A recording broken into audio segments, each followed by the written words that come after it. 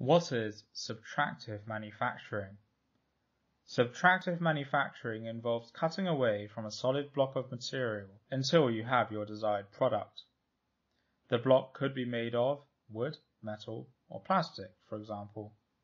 A milling machine, which is cutting out or hollowing out a piece of metal, is an example of subtractive manufacturing.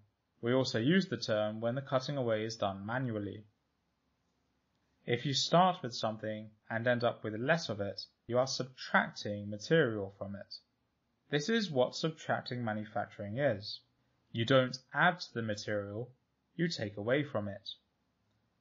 A sculptor starts with a stone or wooden block and gradually chips away at it until the statue is finished.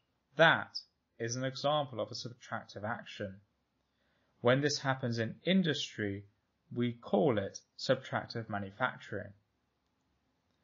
The opposite of subtractive manufacturing is additive manufacturing. Additive manufacturing, or AM, is the process of joining materials to make three-dimensional objects from 3D model data. With additive manufacturing, you keep adding and adding until you have your desired product. With additive manufacturing, you keep adding, while with subtractive manufacturing, you keep subtracting there's an important difference. Subtractive manufacturing, which is widely used in manufacturing, has been around for a very long time. Thousands of years ago, people cut away at rocks to make blocks for building walls, homes, and even pyramids. In many societies, canoes and other boats were made by cutting away at a large tree trunk.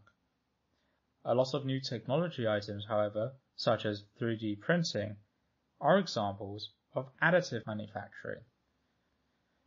Thank you for watching this brief video on subtractive manufacturing.